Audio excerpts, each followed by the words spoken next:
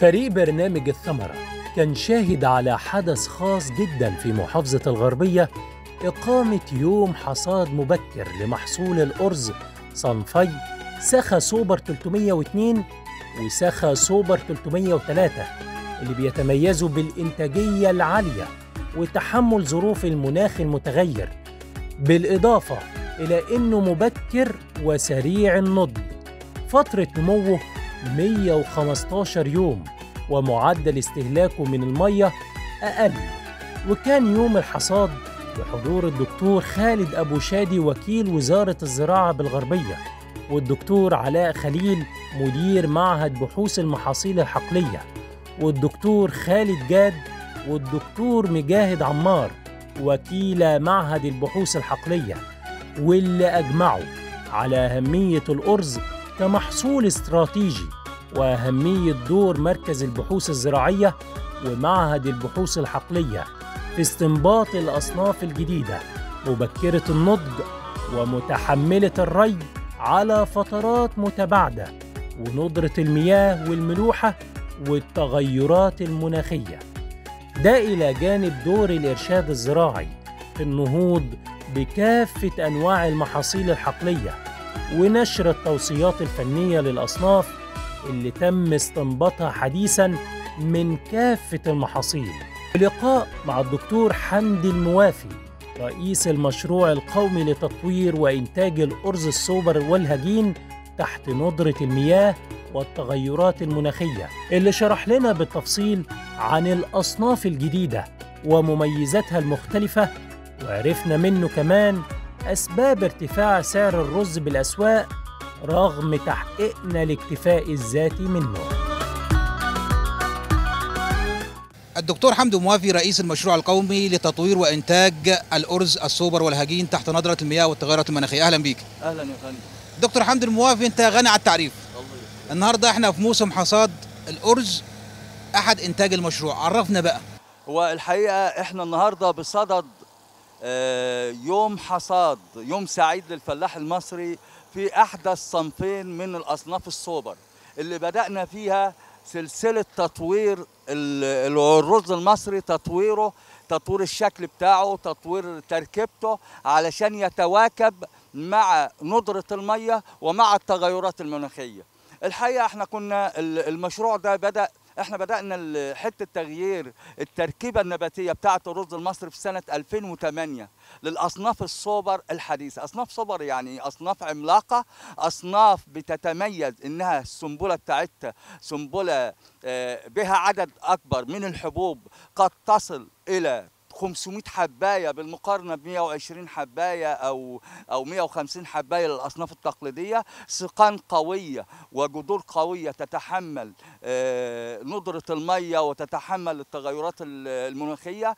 تركيبة مميزة وشكل مميز على شكل حرف في بحيث وسنابل كثيفه وسنابل عاليه في الإنتاجية بتصل وزنها ل 8 جرام و9 جرام بالمقارنة ب 3 جرام و4 جرام للأصناف التقليدية. لكن بدأنا في ال 2008 ط- استطعنا في 2018 إن إحنا نسجل باكورة الأصناف ديت وهي سخا سوبر 300 اللي بتزرع منه السنة دي أكتر من 50% من مساحة الرز في مصر الرز السوبر العملاق. الحقيقة الرز السوبر العملاق بدأ في الصين بأصناف هندية لكن بدأ في مصر بأصناف japonica type يعني التركيبة بتاعتها ملائمة للجودة في السوق المصري بطعم مصري مميز أصناف مميزة محصولها بيصل إلى خمسة طن للفدان بالمقارنة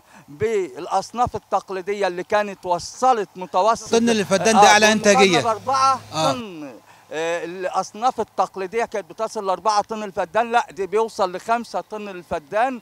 بالم... كمان بالمقارنة إن إحنا كنا أصلا آه، آه، آه، تتبعنا الأصناف التقليدية لحد ما وصلناها لأقصى حاجة إنها وصلت ل 4 طن الفدان وكانت بتستهلك 5000 ل 6000 متر مكعب مية. الأصناف السوبر بتوصل ل 4000 ونص من 4000 ل 4000 ونص آه، متر مكعب مية. يعني معنى كده إن إحنا بنوفر تلت كمية المية. بعد ما قطعنا شوط في تحسين الأصناف التقليدية اللي هي من أجهزة 177 و78 وسخه 101 لحد سخه 108 دي اسمها الأصناف التقليدية.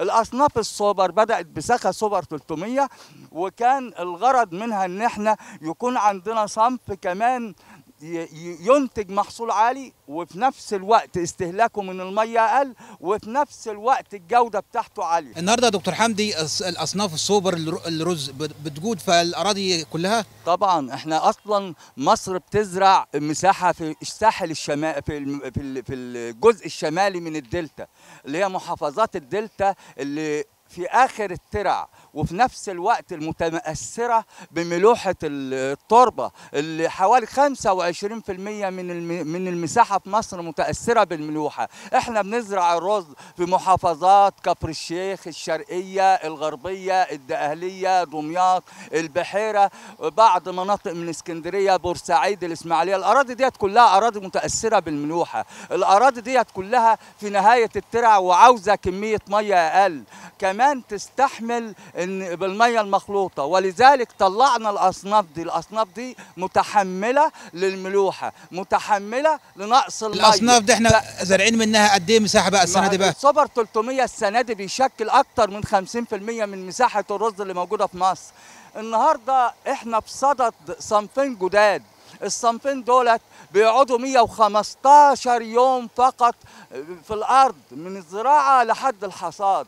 الصنفين دولت بيتميزوا إنهم ممكن إحلالهم. محل الأصناف القديمة اللي هي جزء 177 مع إنتاجية أعلى. جزء 177 إنتاجيته بتوصل 3 ونص. ده بيوصل 5 و3 من عشرة طن للفدان. بيتحمل جزء 177 ما يتحملش ظروف الحساسية لل- للتربة المالحة ما يتحملش الظروف الغير مواتية. الأصناف الجديدة ديت اللي بتحل واللي سجلت بقرار وزاري آه، 108 2023 احدث صنفين سخا سوبر عندنا سخا سوبر 301 و302 و303 فدولت الأصناف الجديدة دي 115 يوم استهلاكهم أقصى استهلاك للمية 4000 متر مكعب مية. يعني معنى كده إن بنشتغل على منظومة مختلفة تماما من ارز متحمل للظروف وأنت عارف إن إحنا أصلا برضه إنتاجيتنا ما شاء الله إحنا عندنا اكتفاء ذاتي من الرز.